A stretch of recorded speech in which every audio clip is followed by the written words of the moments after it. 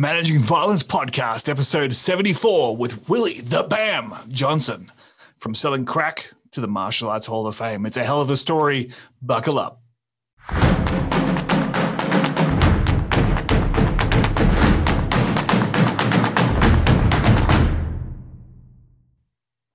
Hey, everybody, welcome to the Managing Violence Podcast, episode number 74. Today, I am joined by martial arts legend Willie the Bam Johnson. Now, for some of you, he may have flown a bit under the radar. He's a Black Belt Magazine Hall of Famer. He's been on the cover of Black Belt Magazine, a number of karate magazines. He holds a seventh degree black belt in karate, a fifth degree black belt in wushu kung fu. But there's more to Willie than just the martial arts. His story is is unique. It's it's powerful. From growing up poor in Baltimore, uh, getting into selling drugs as a as a teenager, uh, being surrounded by death and violence and, and addiction uh, most of his early life, um, and then going down a path that ended up with him, despite being a champion, despite winning tournaments, uh, ending up selling drugs and and making a business on the street. He uh, would end up in maximum security prison before eventually turning his life around through martial arts. That's the cliff notes. There is so much detail. There's so much emotion. There, there's a raw ah, man, there's just something about Willie. He's a he's a great human being, and uh, I had so much fun talking to him. Uh, it, it, impacted me emotionally, and uh, you'll you'll see as we as we get through. Especially if you're watching this video, there's a bit of emotion in this this interview. So uh, I highly recommend you do check out the video on YouTube if you if you are listening to this on, on the audio. Uh, but not only is it about the human interest side, but there's also some really great insight from a self-defense point of view or self-protection point of view uh, about the mindset of young criminals and, and gang violence and uh, you know wh- wh- how these kids end up in this environment and the choices that are, that are made and, and, and what informs those choices. And uh, I think sometimes in the in the self-protection community, we're too too quick to other criminals, you know, to other gangsters, to other uh, um, you know, troubled youths. And, and I think there's so much value in understanding the why and understanding the circumstances and understanding the reality that these kids are living in uh, that can help us with trying to prepare people to, to, to be safe and not to end up in in the crossfire as such uh, in in the senseless violence that unfortunately is too prevalent, especially uh, in in areas such as Baltimore. But uh, before I get into the interview with Willie, I just want to remind you, as I said last week, my book, Neon Jungle, A Bouncer's True Tales of Lessons, Laughs, and Lacerations, is now available on Amazon. Make sure you check that out. Uh, and if you'd like to get bonus content from this and every other episode since season four, so that's now, I don't know, 35 episodes, 45 episodes, 45 episodes. 45 episodes of bonus content is now available at our Patreon, patreon.com forward slash managing violence. I'll also throw in there something else we've just signed up for, we've just added is buymeacoffee.com. If you haven't heard of Buy Me a Coffee, similar to Patreon, except no ongoing contributions. So it's just a way to tip the creators that you get value from. If you're a listener of this show and you get value from what, what I'm delivering week in, week out, uh, you don't want to sign up to, to a regular Patreon, but you would just like to buy me a coffee, head on over to buymeacoffee.com forward slash Joe MVP. All the links will be available in the show notes. And last but not least, make sure you join our Facebook group, the Managing Violence Tribe. It's a fantastic little community of like minded professionals and enthusiasts. Uh, no politics, no ego. Very little bullshit. I won't say no bullshit, but very little bullshit. Uh, it's a, it's a really cool little group, uh, and uh, I hope you en- hope you enjoy your time there as well. All right. If you're listening on the on the uh, podcast, head on over to our YouTube channel. Hit subscribe over there. Uh, if you're listening on YouTube, then and you haven't subscribed, then why why not? Go on, hit the hit that subscribe button. Do it. All right, I'm not going to wait. All right, here we go. Willie the Bam Johnson. All right, welcome to the Managing Violence podcast. I'm here today with Willie the Bam Johnson, joining us from Maryland. Willie, thanks for being on the show. Thank you for having me, sir. and before we get started, I need to give a shout out to Vaughn Jackson. Vaughn might be your biggest fan in the world. Vaughn has been uh, asking me to get you on the show for quite a while, and uh, I'm glad the timing kind of worked out and we managed to make it happen. So, Vaughn, this one's for you, my friend. Uh, he's a contributor to the show. He's he's forever. Um, suggesting guests to me, but you've been uh, front of, front of mind for a while. So, so uh, I want to thank Vaughn for for bringing you to my attention.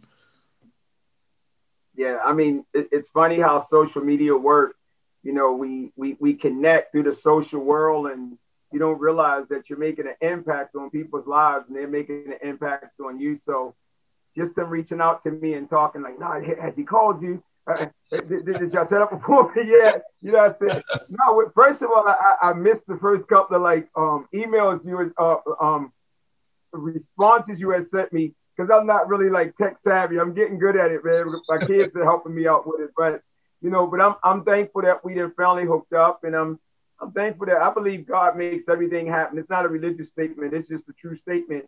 I think this is all about why God allowed me to save my life well over 33 years. You know, um, and I mean, it, it's just interesting. So so I, have done a, a, fair bit of reading on you, and uh, you've you've got a hell of a story, my friend. And uh, I'd really like to be able to provide a platform for you to tell the listeners about it. So, so let's start at the beginning, right? So you you, you grew up growing up in a kind of low socioeconomic environment.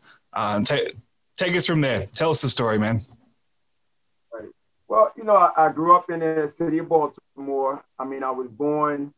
Um, it's funny. I, I, I tell the story in my in my book that's coming out where how it my mom had to carry me a, a, a couple of months extra and she almost died.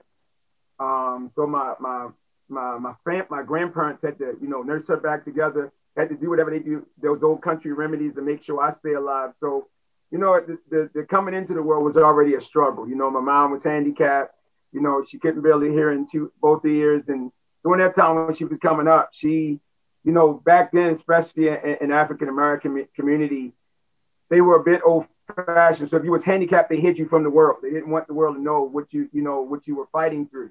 It was kind of embarrassment. And as a kid, I never understood that. You know, I, I, you know, coming coming up as a teeny little baby, I remember times just seeing, you know, my mom just treated like she was nothing, you know, and as a as a kid, just trying to like fight for the attention. Um, you know, at, at a very young age, that attention allowed me. I'm not going to say that it allowed me, but it, it put me in situations where I was molested as a little kid, you know, and nobody, I couldn't really tell that to my parents, you know, it was because when I, I don't know, I, always had this thing, uh, uh even as a baby, you know, a, a young kid, three, four, five years old, where whatever pain I was feeling, I wouldn't tell my parents about it because I already seen the pain they were dealing with in the inner city, you know, welfare, violence. I mean, you name it, you know, they were they were dealing with so much, but they were doing their very best just to make sure they can put food on the table. So when I was going through these painful experiences from other family members, I just would hide. You know, I just wouldn't tell nobody. I would just like suck it up. I learned how to suck it up. And um, even during times from that, you would see, uh, it's crazy. Even though the, you know, back then the, the, the community was really, I'm not going to say it was as violent as it is right now because it was good, but there was a lot of things going on behind closed doors that the people didn't see and people didn't know about. And I remember times, man, where neighbors would come and knock on the door, and I'm a little kid, and all of a sudden I see somebody come and grab my mom and my sister, and they begin to fight. And I mean, you see blood, you see all these crazy things going on, but that's what it was like growing up in the city, you know. And as a kid, I feared it so much. I once again I would hide under the bed. That was my place to go. Um, my dad, you know, he was one of those guys who he wouldn't take nothing from no one. I believe a lot of this, my anger, when I get angry, I be, I, I, take upon the personality of my dad because he didn't did some things that he, you know, as a kid, he always tell me, you know, you don't ever want to follow this path that I went, that I went down. I mean, I can't tell his story, but he didn't been through some places that I, I mean, I didn't been through some places, but I don't want to go to the places that he went through. So do that, you know, just do that little childhood. I think the one thing that really helped me and gave me a sense of hope was my parents one day let me go to a movie to see Bruce Lee Chinese Connection. Oh man, you know, it's like they know. I mean, you, you, I look at it as a blessing from God because they would never. They were so even though all that stuff was going on. And once again, I want people to understand in the, in this city, even though there might be a lot of violence going on, when I was coming, there was still a lot of respect. There was still a lot of you know morals and principles. Um, so a lot of the stuff that happened, it it, it wasn't the parents that our parents didn't know about it. I mean, they I, I know my dad liked to drink and do whatever, but he had to drink to go through the val- go through all the stuff that he's going through. So when they when that went through, through that moment, I guess maybe it was their moment to take a break for me. They let me go to the movie theater. I seen Chinese Connection, Bruce Lee, man. It changed my life. When I looked on that movie screen, what did I see? I didn't see a, a Chinese man. I seen me. I swear to you, even as I talk about this right now, I seen me. I seen me being a superhero that can go back and finally stand up and fight for all the things that was like beat me down and was hurt me. And you know, it, it's funny. A, a, couple of years later, you realize that that movie was all about Bruce Lee trying to overcome adversity. He was trying to stand up and and and, and show pride for his people and and and, and fight back for un, you know injustice and all those things. And it, it just it inspired me. I mean, from that day forth, I was never the same. I began to make martial art weapons. I began to teach myself martial arts. I began to steal books, steal magazines. I mean, I was a little kid. I was calling to Hong Kong, begging and pleading and Hong.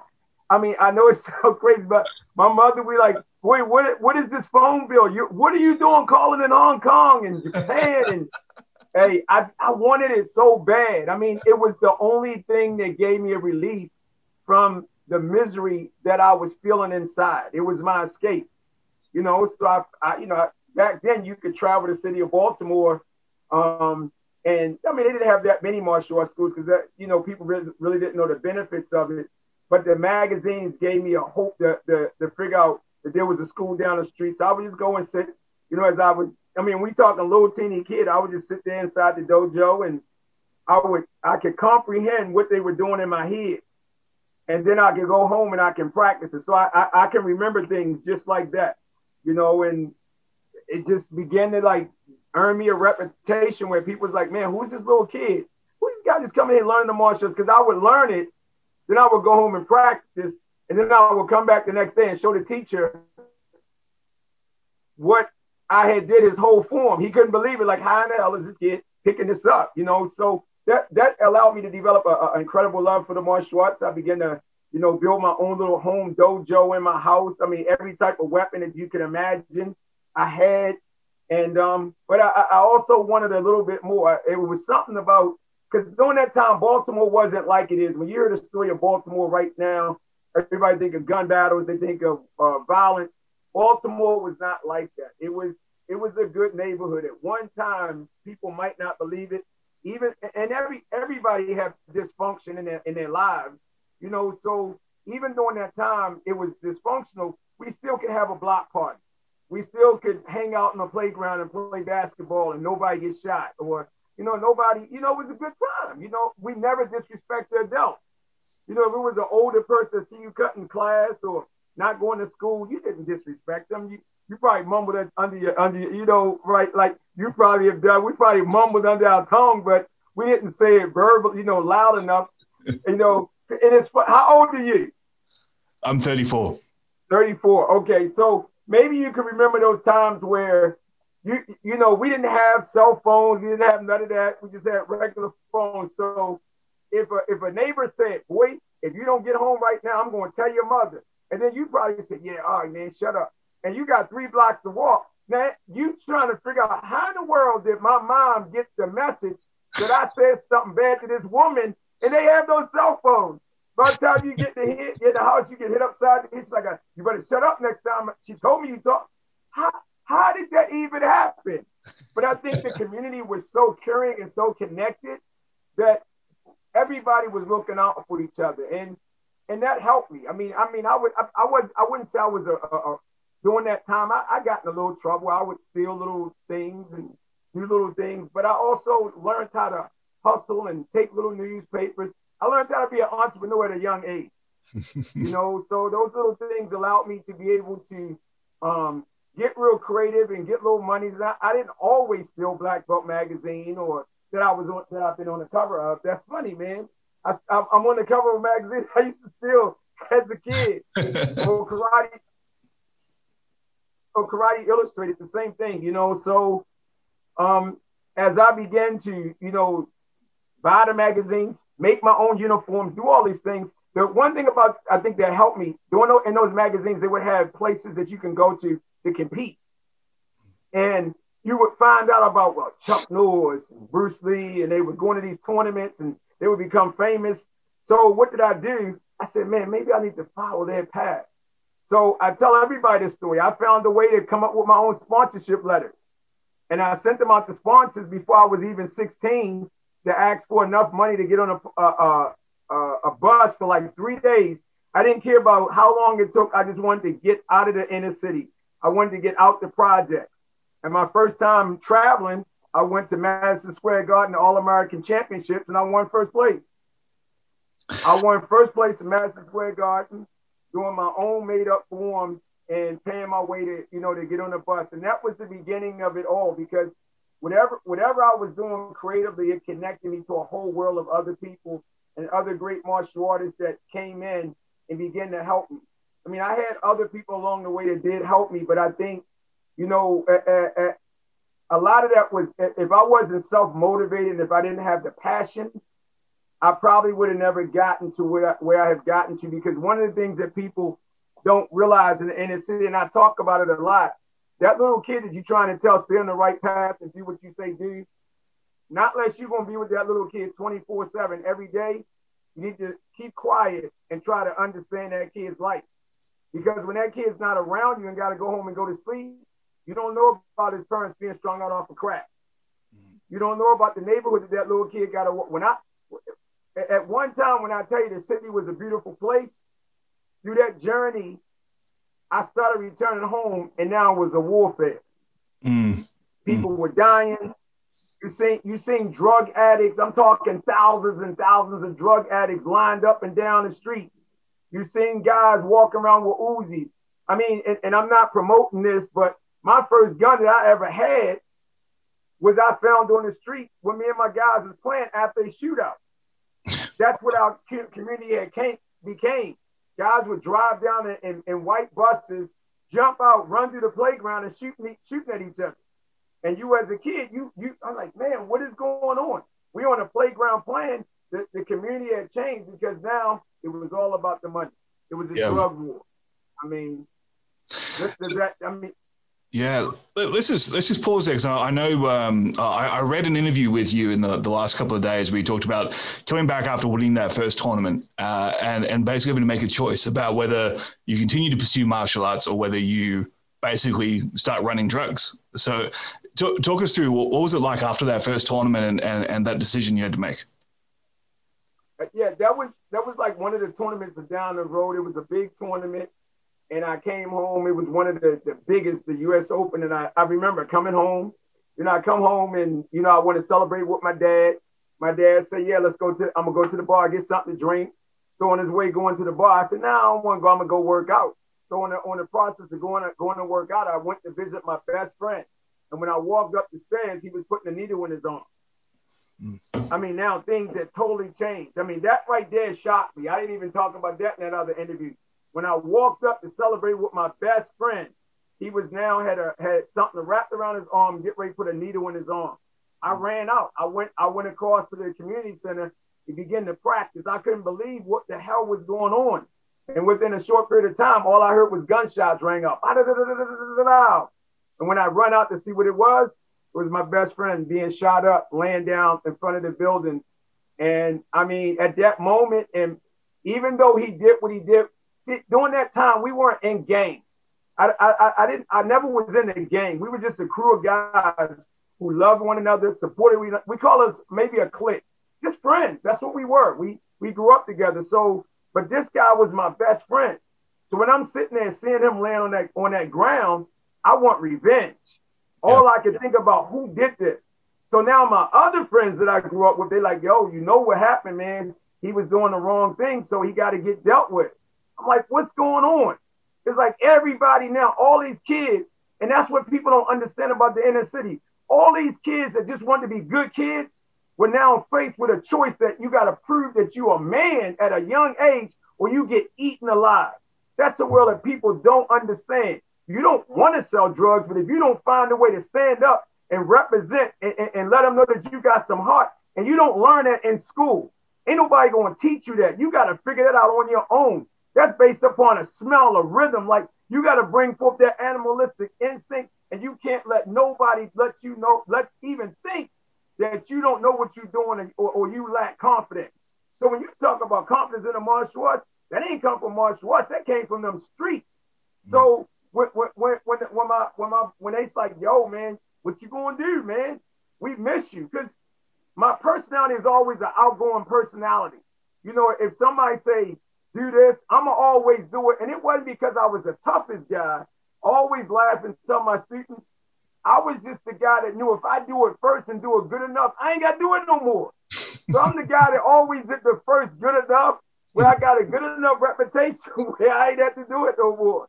So they were like, man, we miss you. You going to these karate tournaments? So I was faced with a moment where they said, come to work tomorrow if you want to work with us. And they gave me a gun and a couple of thousand dollars. And I know what I was doing. I went, I, honestly, I went back to my dad and I asked my dad, what should I do? In my heart and soul, I was hoping that my dad said, no, son, stay with martial arts. Oh man, my dad said, go get paid. Wow. Wow. And um, I don't blame my dad for saying that. Maybe he didn't understand what was happening because nobody else in my family ever sold drugs or used drugs. But when I say I entered a, a, a organization that was so powerful and so feared, and we were the youngest kids in our community, the only thing I could do was stay high every day. Mm. I couldn't live with that person I had to become. I had to become an animal. Mm. You know, I, I, I couldn't fear nobody. If you say something, I had to run you into the wall. I, I couldn't I couldn't give you a, a second chance. It was about morals and principles, and that's what we did have. Because even though you talk, think about any any like like mafia, or, and I'm not calling us that, but if you think of any illegal uh, uh organization, you still got to have a set of codes and principles. Mm-hmm. And the moment you go against those codes and principles, then they going they going to deal with you. And we were the youngest kids, so I I mean, oh man, you talk about my life just changed like that. I mean, we had contracts on us. I mean, you talking about a but it didn't matter. It didn't matter because I was surrounded by a group of guys that would that were that we call it ride or die. They would ride or die with me, while I would ride or die with them. And I'm talking in, in one of my books, I tell people, I say, no, if you're talking about being able to deal with, I'm talking about like overwhelming you insecurity. So you can imagine being at a, a, at a concert and you got millions and millions of people coming, and they coming through one entrance, and you got to like make sure you collect the tickets. And I mean that's like chaotic if you're not calm. Am I correct? Absolutely. Well, imagine in a project building having thousands and thousands of people from nine o'clock in the morning until nine o'clock at night coming and buying buying illegal drugs from you every minute. And we're talking about well over twenty to maybe thirty thousand dollars a day. Yeah, wow. That's how my life changed. Mm. You know, um, and I mean, it, I always talk about that. You know, I had to be like my dad. I mean, I was always this guy because I don't know. I was blessed. I was lucky. I didn't. I, I mean, I, I documented when I got in trouble how many times I got locked up, how many times I was in the drug war, how many times I almost died because I needed to understand the insanity that I was living in. Mm. And for whatever reason, you know, what people don't realize when you're in a world like that, the police didn't come when a shootout was happening. I'm not saying anything bad about the police, but what I'm saying, I realized that hold up, Ain't nobody coming to stop this while it's happening. They're allowing you to do this, and then when it's over, they'll come. Yeah. I don't think people understand that. So we, I had to learn. Not just was I worrying about the police. I had to worry about my best friends trying to stick me up. Yeah. You had to worry about the haters who were trying to get into your operation to figure out what was going on and snitch on you. There's so many things that you gotta that you gotta be conscious of, but yet at the same time you gotta walk with like a warrior, with, with no no fear, no doubt, none whatsoever. And thank God that I'm able to be here today and make it through that through that path. I, I never I never took nobody's life. I never did anything. I mean, I did a lot of things and I've seen a lot of things, but most importantly, I did it to me because that's not the person I wanted to do. That I wanted to be. Yeah, so so let's uh let's talk about how you turned your life around. Like, what, what was the turning point for you to get out of that life and to and to start down the path that that led you to where you are now?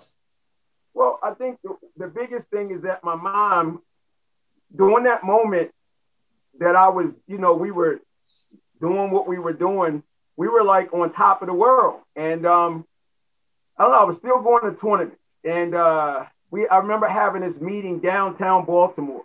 It was a big office building. There was some major stuff happening because a lot of the guys that I was with, some of them ended up going to life plus. They ended up going to jail and getting life plus fifty. Wow. One guy ended up they ended up finding. My uh, the other guy that you know, he he was he taught me a lot, and I know how strong he is. But they found him hung in a jail, you know, and they thought they said he committed suicide. Uh, that's another story in itself. But I remember all us having a meeting downtown, and he and they were like, "Bam, look, we, we got too much stuff going on right now, man, and, and you got to make a choice. Either you're going to do your martial arts, or you going come out here 100% and leave that martial arts alone. I don't know. I mean, I think about this today. They could have took me out because once you win, you can't leave. And out of nowhere, I said, "No, nah, man, I'm doing my martial arts." And the room just went quiet. And you know what's so crazy? All of them begin to support me in doing my dream. Wow. Because all those guys, what people don't realize, some of them guys were great baseball players. They were great basketball players. They just didn't have a support system at home that supported them in their dream. I didn't have that either as much, but I had enough desire inside myself to say, man, this is what I want. So the moment I made that commitment, I started going back to my martial arts. My mom was now struck with cancer. And, you know, all, sorry. Whew all that time from my mom being sick when she gave birth to me, my mom used to go back and forth to the hospital almost like every year she get operated on. I mean, she was in the hospital so much. I mean, I, I, I don't know. I, I, I can't even believe that she was able to survive as long as she, she did. And something happened at, at one time to take the story back where, you know, this this is the other side, and I'm not putting anything down, but I don't think people understand. Drugs can be stopped in the inner city, but it makes too much money. drugs count. Drugs and violence count for a big percentage of the money that we have in, that, in every country. When we talk about, you know, like uh, uh, what is it, loss and and, and and debt? Well, half of that debt comes from illegal activities. This hmm. stuff can be stopped if they want to. Don't nobody own no planes and no ships in the inner city. Hmm. Ain't no way we going to get that stuff. So mm-hmm. it's like you, you realize that, okay, all right, I want to stop this. I want to turn my life around. And what had happened now, the projects had became so violent that you had to have ID to get in your house. So imagine living in a jail that you can come in. That's how our building had became. So as I'm trying to keep my life in order, do the right things, I remember on Fourth of July, I was upstairs playing with my, you know, playing with some fireworks like anybody do, celebrating. And the police at that time, they would get bonuses for locking up people, like you know, five hundred dollar bonus for how many how many arrests you could have that night. People don't understand this, and people might say, "Oh man, that ain't." Yes, it is true. Do research back then. So now the police was walking these beats, but they weren't locking up the drug dealers. They were locking up innocent people. Hmm. they, I knew who the guys were that were selling drugs, but they weren't touching them. They were messing with us. And because I was on the other side, I knew why they weren't messing with them. I knew why they were messing with us. So I'm in this, I'm playing, you know, doing this with my mom. And the police comes up and they say, give me the fireworks. And I'm like, we just playing. It's my mom, it's my niece, you know, um, my whole family. And they just, you know, they just started getting real rude. And I think somehow my mom said, leave them alone. So they pushed my mom down and created internal bleeding. My mom was, she was unconscious. And then they hit my niece. Wow. And I began to fight them. I began to defend my mother and defend what was going on. And all of a sudden in the projects, a big riot started. Everybody's running out. And my mom screamed, she, I know my niece screamed, she said, Bam Bam, Uncle Bam Bam, stop, they gonna kill you, they gonna kill you. So I stopped. They handcuffed me. I wasn't doing nothing, but I understand it's probably the karma from what I did before. I accept that. But what they did to my mom and what they did to my sister, my niece and them, there was no need. They weren't selling, they don't know anything about the drugs. They just wanted to have a good time. Yeah. So they took me. Imagine being in a high-rise building well up like we talking 12 stories. I mean, you can imagine how many steps you got to go down. So because they couldn't go in the elevator, because now a riot was happening, people was running out. Leave Bam Bam alone. He's karate. He's doing this for the community. So they took and ran, tried to run me down the stairs. And I would take my shoulder and hit the wall because they were trying to smash my face in the wall. And mm. I was hitting the wall and hitting the wall and hitting the wall. And then finally, when they got me downstairs, I mean, the handcuffs was so tight. I mean, it was had to be the whole project was out. Let him go. He's not doing anything. Leave him alone. And so the police put me in the paddy wagon, and you know, I, I, he said, "Well, you know, if you plead innocent, we'll we we won't give you a big charge. We'll give you a low charge." And another officer came in and said, "Let him go. Take them handcuffs off. What are y'all doing?" Long story short, that right there made me have an anger for authority that I never thought I would ever have. Because I still believe at this point, and it's the first time I ever said, I believe because of that, it created internal bleeding that led to cancer spreading in my mom's body. Mm. We just was too poor. Mm. Nobody cared a fuck. Sorry, man. It's okay. Nobody fucking cared. Even the karate world, nobody fucking cared. None of them didn't care. Yeah, they say they cared on the surface, but wasn't nobody trying to come there to help when we was going through those those day to day struggles. So that they locked my, my mom is is now got cancer. You know, they, they the judge locked me up for one day to use me as an example. Hmm. I go on with my portfolio. I go on with everything to show this judge that I'm doing the right thing. He said, no, y'all down in them projects think y'all can do whatever y'all want to do. We're going to give you one day over city jail. Never been locked up like that ever in my life. Imagine being locked up and going through a jail, and now the people that are checking you in are your students.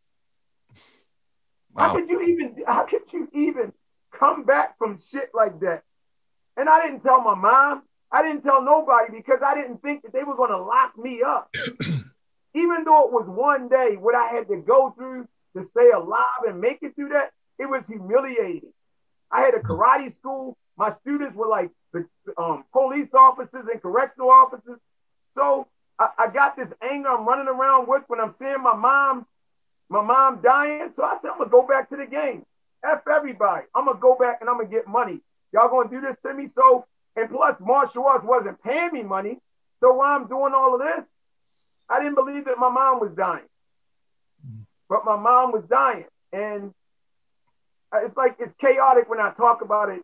All these things happen. I'm selling drugs. I'm I'm still doing tournaments, but I never would go. I would never take drugs. I would never go high or anything because. But I had to sell drugs to make life better for my mother. I had to make things better for her. I seen what was going on. So this one time, I was now hit with an opportunity to go to New York City and be on the front cover of the first karate magazine called Official Karate.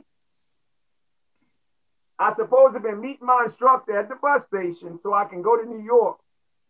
My mom's dying. I'm not really getting it because I mean, you know, my mom, I was like a, ba- a, a, a mommy's boy. She she protected me from everything. So I'm not really thinking she gonna die.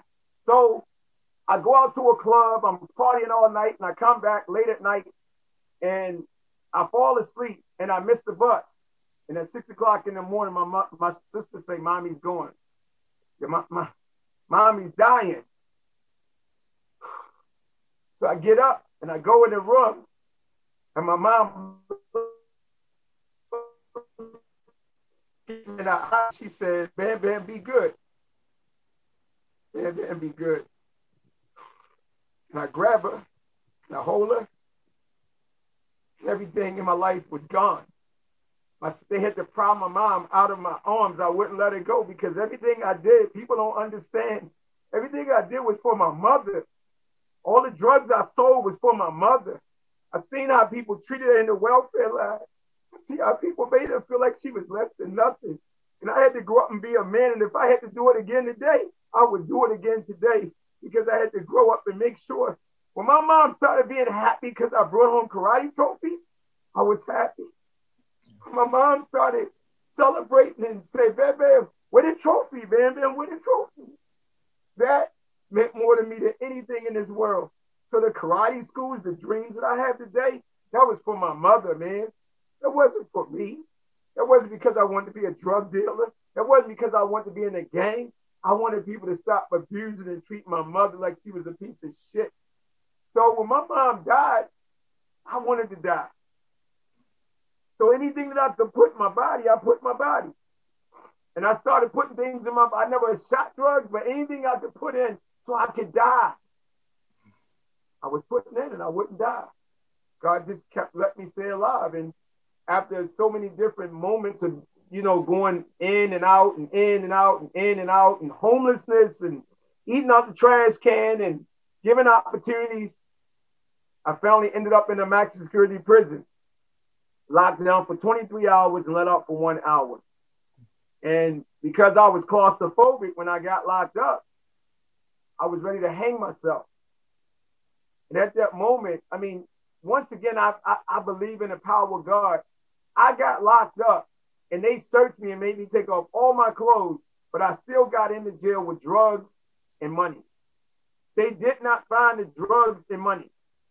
But I sat there in that cell when I was contemplating suicide and contemplating using those drugs. I said, What are you doing? You know better. What do you, what do you, you can't use the drugs because you're to go crazy. And I just dropped down on my hands and knees, flushing them drugs in the toilet, and I still have the paper. I wrote in 1989, God, if you would give me another chance to go and be a living example for every kid so you don't have to go through what I went through, I would never abandon you. And that was 34 years ago. It'll be 30, yep, 34 years. And I began to rehabilitate myself. Didn't nobody rehabilitate me. Didn't nobody like come and see me. Didn't nobody help me. I had to help myself. But the beautiful thing about the backtrack, because my parents did implant, you know, put good things in me, the community put good things in me.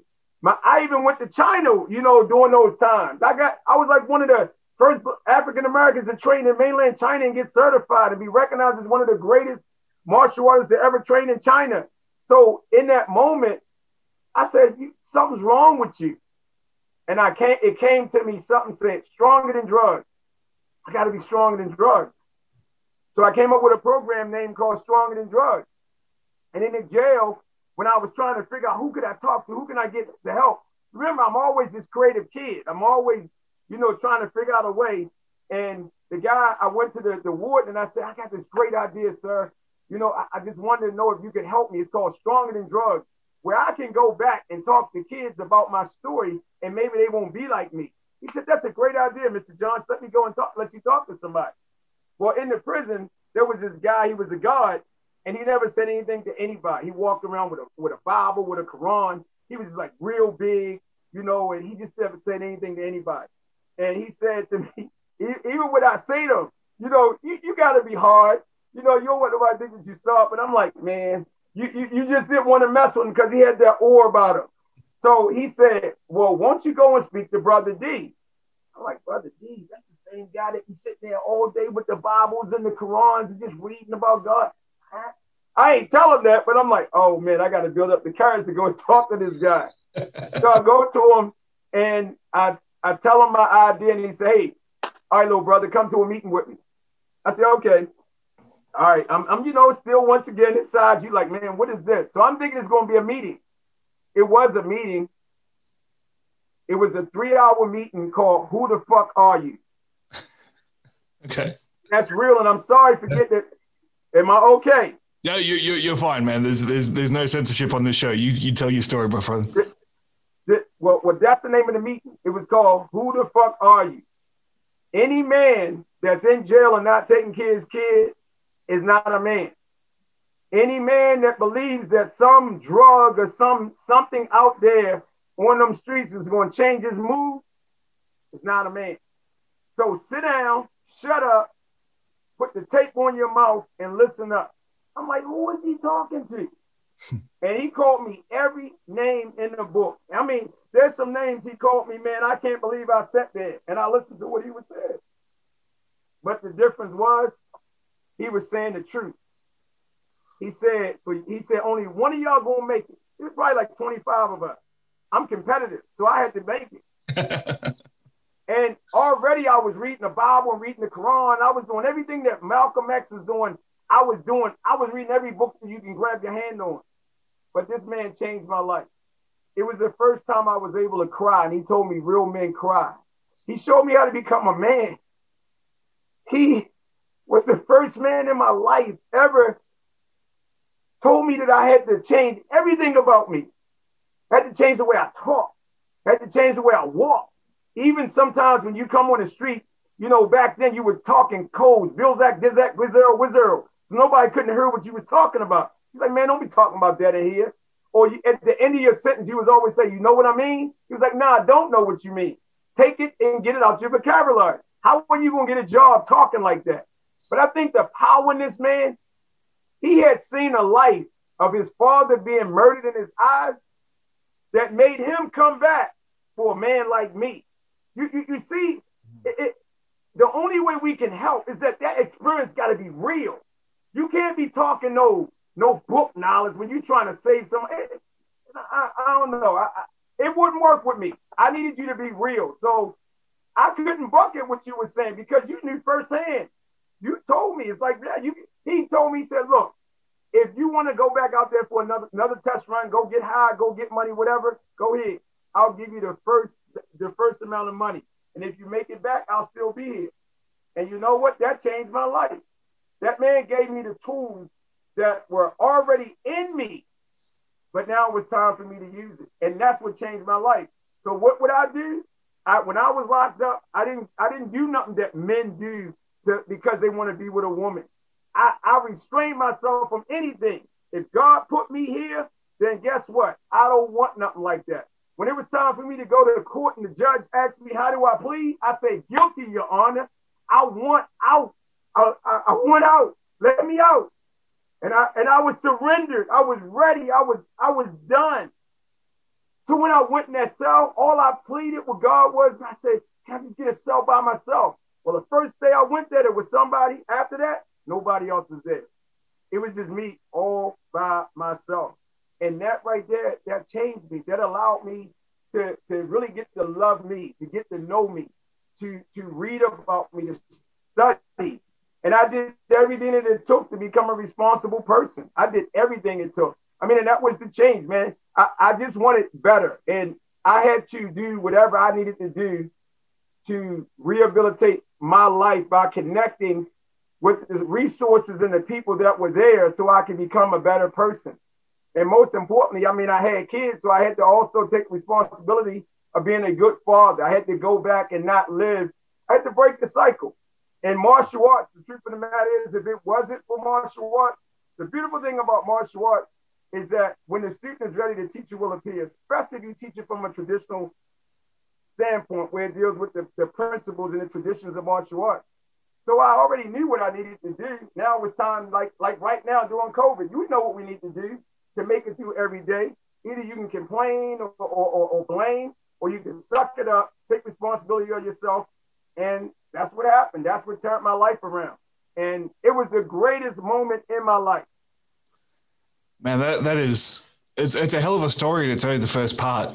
it's, it's, it's really it's you, you're an incredible human being, Bam. Um, I, let, us uh, I mean, we, we are going to run out of time to tell the, the whole the whole blow by blow, but let, us talk a little bit about what you've done since then. I mean, you you've been you've been in Hollywood, you've been a stuntman, you've been on the cover of magazines, you're you're in Hall of Fames. Um, you you started uh, your your own system. You've created Point MMA. Uh, there's so many things that could probably be a show in their own right. But uh, let's talk about what you're doing right now. Like, what's where has this journey taken you over the last, say, 30 years since that moment?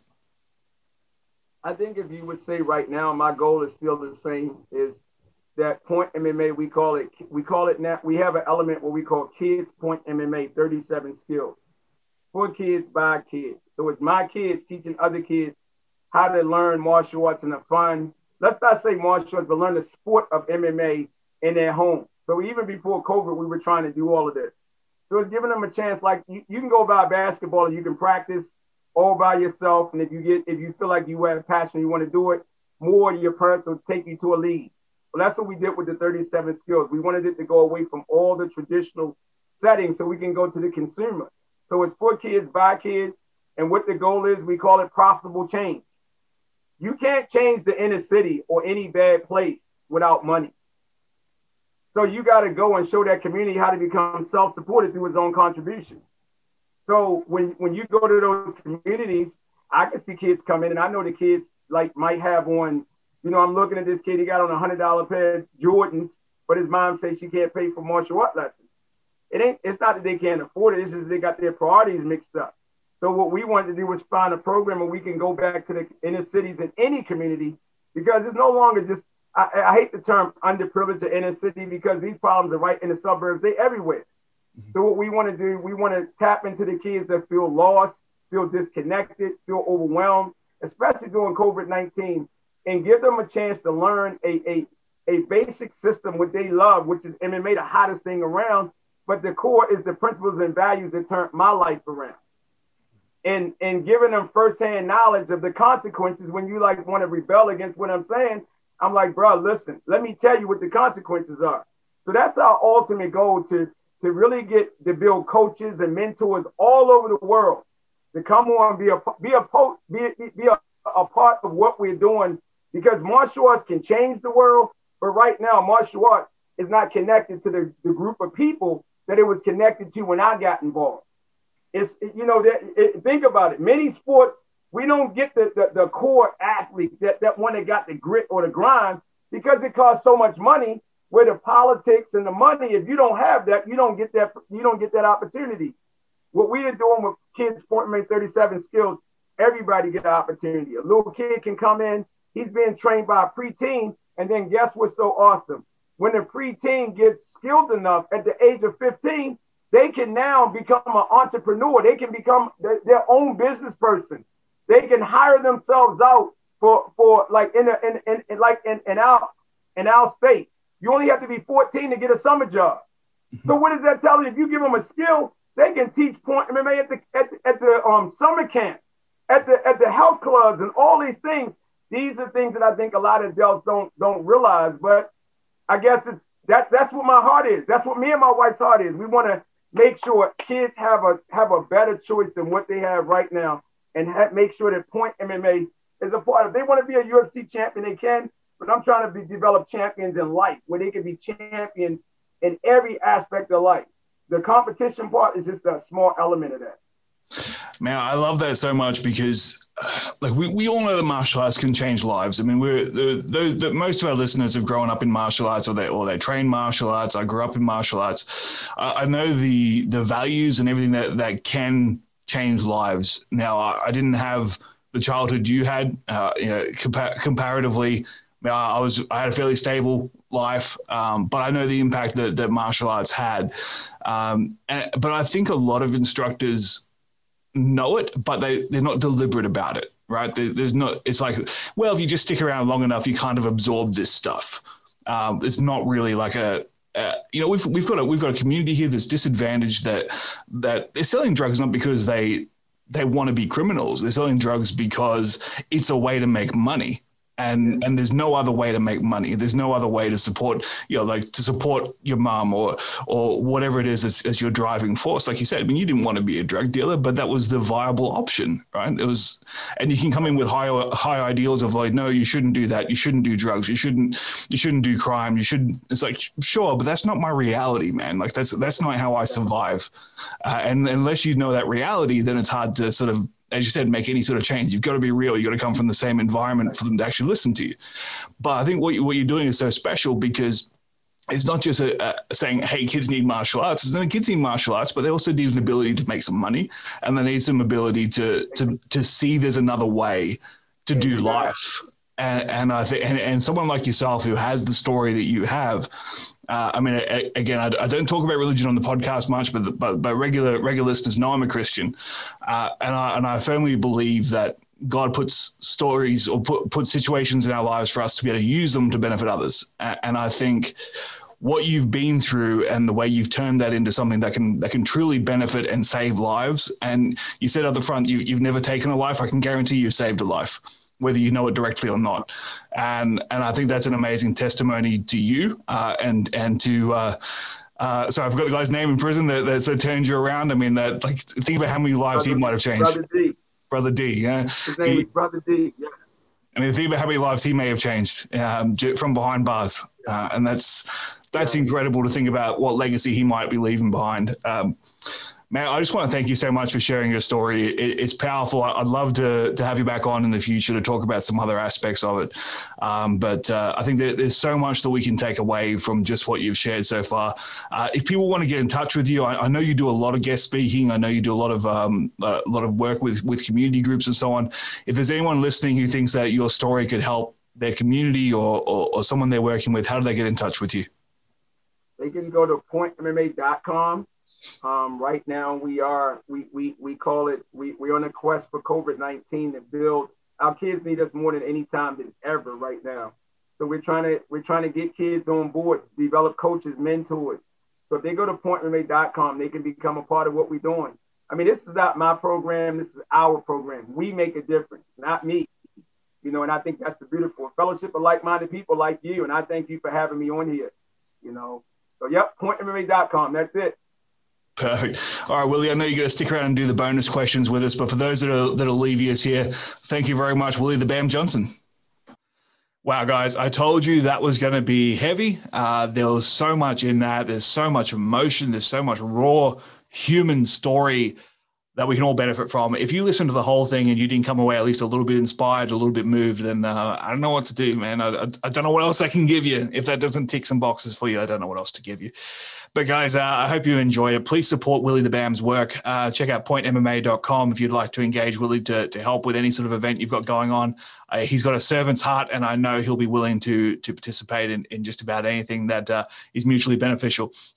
So, uh, so guys, uh, thank you for that. Thank you to Willie the Bam. Thank you to Vaughn Jackson for bringing Willie to my attention. I hadn't heard of Willie before Vaughn messaged me, and uh, and he pushed pretty hard for for for me to get Willie on. And I thought, man, I've got to check into this guy. And uh, I'm so glad I did. So thank you. Thank you very much, Vaughn. And that's why we have the Managing Violence uh, Patreon supporters group who can recommend guests because sometimes, hey, I'm not aware of everybody. Uh, I, I, don't follow every single person out there that's doing great stuff. So I always welcome the suggestions. All right. If you're not a member of the Managing Violence Tribe on Facebook, make sure you do that. Make sure you subscribe to our YouTube. And if you're listening to the podcast on an audio platform, please go and leave us a review because it helps spread the word about the podcast. All right, that will do us for the week. Go buy my book. Just kidding. Not really. Go buy the book. All right, I am back next week with, speaking of books, the uh, prolific martial arts author, Mr. Lawrence Kane, talking about his most recent book, Shit Sun Tzu Said. Yes, that's the actual name of the book, and it's tremendous. All right, I will see you next week. Until then, talk to you next time.